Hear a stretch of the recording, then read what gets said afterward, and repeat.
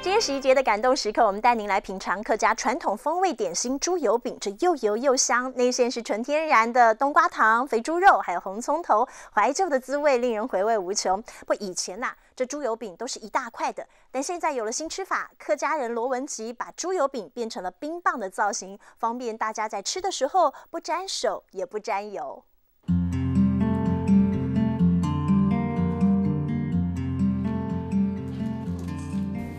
一口接一口，他们吃的不是冰棒，而是客家风味点心猪油饼。只是为什么是这种造型呢？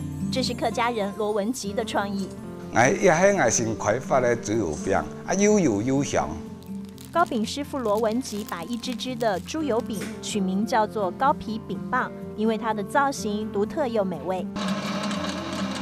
饼皮用的是面粉加猪油，而内馅一样是冬瓜糖、红葱头加肥猪肉。不过肥猪肉用的是有纤维不油腻的部位，让口感浓郁又能入口即化。这个有有纤维质，那个如果说假如说是那个内脏的肉的话，都大部分都是油。讲求古早味儿，所以每个步骤都不马虎，口味坚持传统。和那个现在已经九十几岁的老师傅，对，有其中一位老师傅学的啊，因为做这个饼的话，那个。精髓就在这边啊，它的味道会那个比一般的话会特别香一点。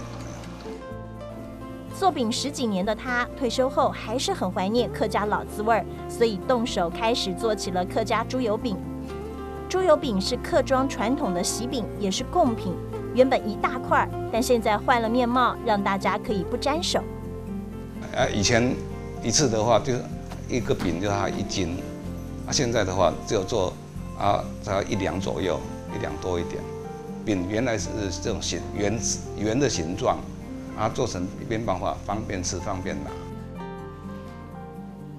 沾上芝麻，经过烘烤的猪油饼，从擀皮开始，一直到馅料都很讲究，依循古法制作，就算换个造型，一样酥脆可口。高皮饼棒没有加入防腐剂，食材纯天然。罗文吉以创新的造型，让客庄怀旧的滋味有了与众不同的新吃法。啃冰棒的满足感，猪油饼的客家味儿，客庄怀旧的气息，罗文吉巧妙融合。肥猪油不腻，冬瓜糖甜心，一只高皮饼棒有着童心未泯的感动时刻。